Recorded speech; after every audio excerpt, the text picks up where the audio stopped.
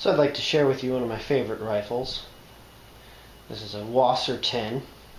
It's an AK-47 variant made in Romania. Um, I've added some upgrades to it that I'd like to showcase here because I think they really are cost effective upgrades that you can easily do to your AK rifle that I think you'll be very happy with. So let's start at the muzzle and we'll work to the rear.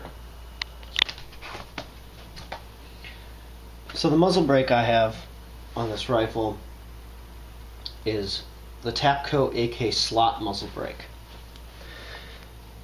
It has these distinctive top slots, which in my experience really help to reduce muzzle rise, and it also has uh, side holes they're on both sides.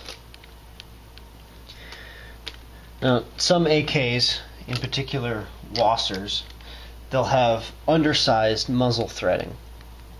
And you'll need to put some uh, high strength Loctite on those threads, and it it won't wiggle loose after you do that. It's this uh, muzzle brake has been on there for probably 500 at least rounds and it's still nice and snug.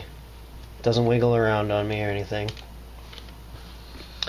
So, moving back is the front sight tower.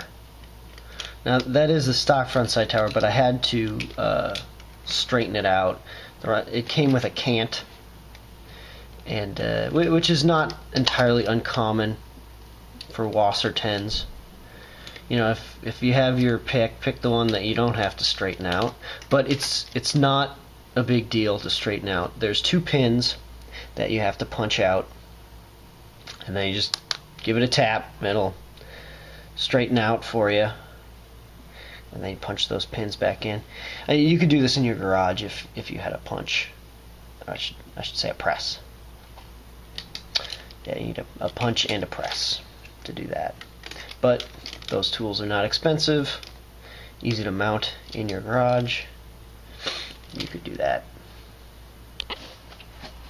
The handguard I have on this rifle is a Midwest Industries uh, quad rail or tri rail, depending on how you have it outfitted.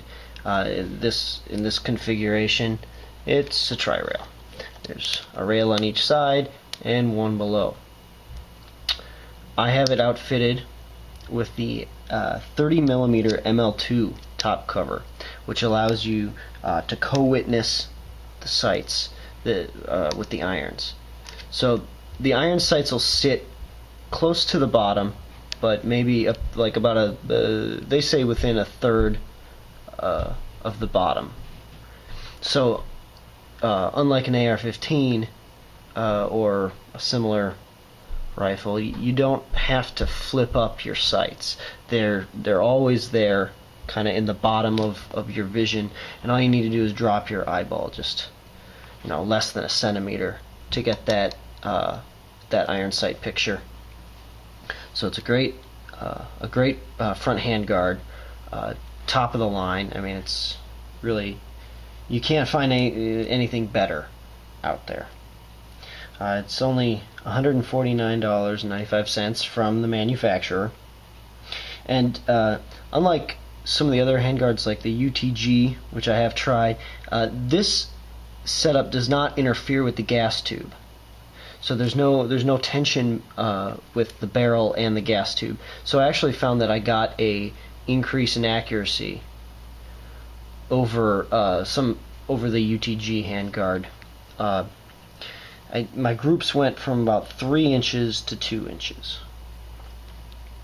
So that is another positive side effect of this handguard. The optic I have on this rifle is an Aimpoint Comp C3. It has a 2 minute of angle dot. The manufacturer claims a battery life of 50,000 hours at a setting of 7 out of 10. And I want to say that the uh, setting 7 out of 10 is bright enough to shoot outside on a sunny day. I have used it for that. It is it is a useful 50,000 uh, hours of battery life, which is impressive. Um, the the price for these uh, I found them for $437 at, at Midway. So it's it's a it's a pricey optic, but it's it's very high quality. You're ne- you're not going to find anything but Aimpoint that has this kind of battery life. I mean, it's very high quality. So you're you're getting a lot for what you pay.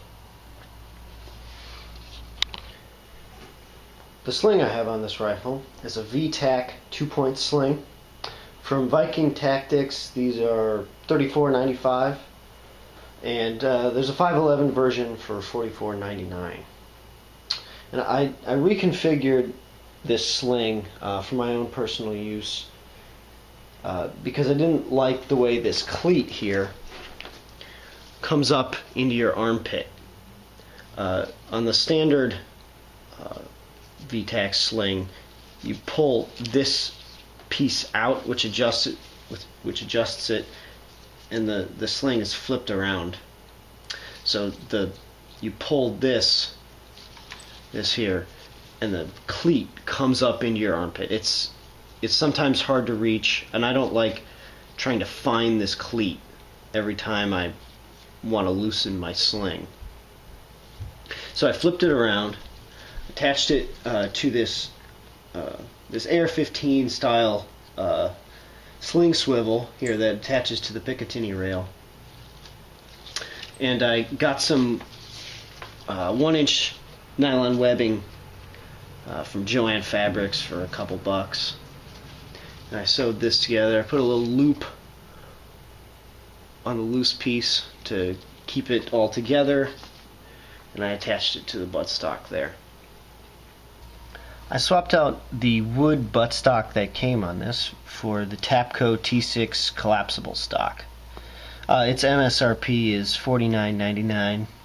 It's US made. It's very easy to install. You just unscrew the old stock from the screws here in the tang, and then you pound it out. You you have to beat on it a little. The old one, you have to beat on the old one to get it out, and then you just screw it in, and it fits nice and snug uh, into the receiver. And this particular model is for stamped receivers only. They make one for milled receivers too.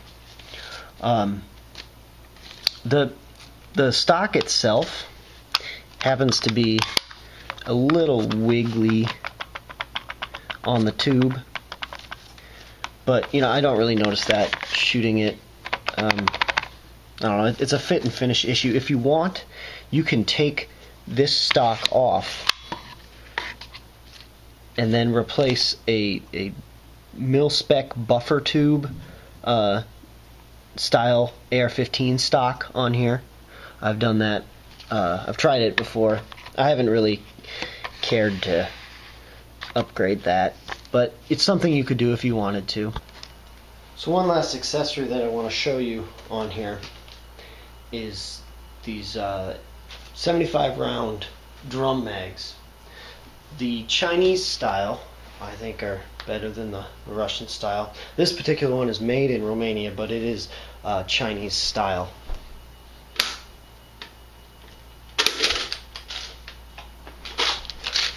They're really easy to load, and you can keep them fully loaded with 76 rounds. Uh, they say they're 75 round, but you can actually fit 76 in there. Um, yeah, they're really easy to load you pop them open, load your rounds in, load three more in the neck, um, and then you just leave them like that. And then when you're ready to use them, just crank that key. You got to crank it a couple times, but uh, once once the spring tension is in there, it's ready to rock, just like that. And that's that's a great way to increase the firepower of your AK. Other than that, uh, that's it. So if you have any questions or comments, go ahead and leave them below the video. I'll try and answer them. Thanks.